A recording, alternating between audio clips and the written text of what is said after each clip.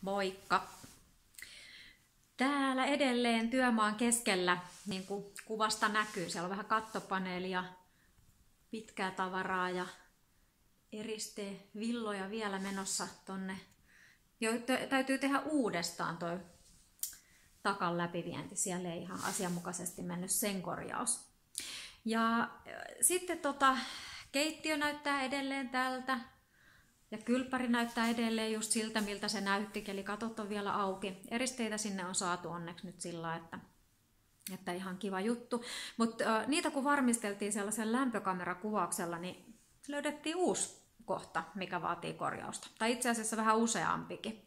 Mutta pahin oli täällä siinä osassa kattoa, mikä oli vielä täysin ehjänä, paneelit, eli täällä ruokailutilan kohdalla, niin täältä löytyi syyki aika selkeästi, eli tuolta on vedetty hirrestä tuohon ilmansulkupaperiin, tuo ilmansulkupaperi ja tuo ruskea, mikä sieltä näkyy, niin on jäänyt paikkaamatta tuollaisen sähkö läpiviennin. Siellä on joku sähköputki, hässäkkä, mikä, mikä tuohon ulos on kiepautettu ja siitä se ilmansulkupaperi on sitten jäänyt paikkaamatta. Eli sieltä kulkee nyt tätä lämmintä sisäilmaa tuonne eristetilaan ja, ja se ei tee hirveän hyvää. Se on nyt pari vuotta sinne kulkeutunut ja siellä sitten pintoihin saattaa huurtua ja jäätyä ja sulaa ja sitten taas uudestaan sama homma niin useita kertoja, niin ei kiva.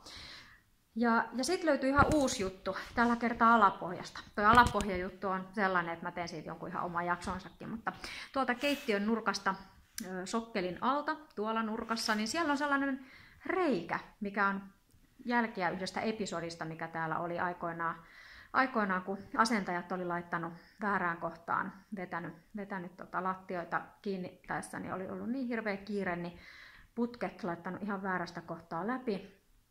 Ja, ja tota, sitten oli riudottu sieltä nurkasta pois ja vedetty oikeaan kohtaan, mutta ei oltukaan paikattu noita ilmansulkupapereita siinä välissä, eli tuolla on alapohjastakin nyt suoraan, suoraan sitten eristetilasta suora yhteys tänne sisälle, ollut paikkaamatta pari vuotta, ja sen lisäksi noin alapohjan tuulensuojalevyt on tuolla ihan mutkalla tuolla talon alla, siellä on jo kahdeksan eri paikkakohtaa, joten täällä todennäköisesti hommat tulee jatkuu vielä aika lailla. Mutta onneksi tämä on sillä lailla selkeä, että mulla on tässä sopimus yhden, yhden tota, tahon kanssa, eli se on se rakentajataho. Ja, ja tota, tässä ei sinänsä mitään epäselvää ole. Isoja virheitä, tosi ikäviä, vielä ikävämpää näitä muiden paikkailla.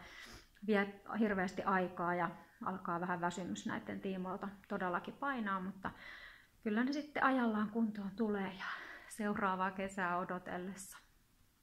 Moi!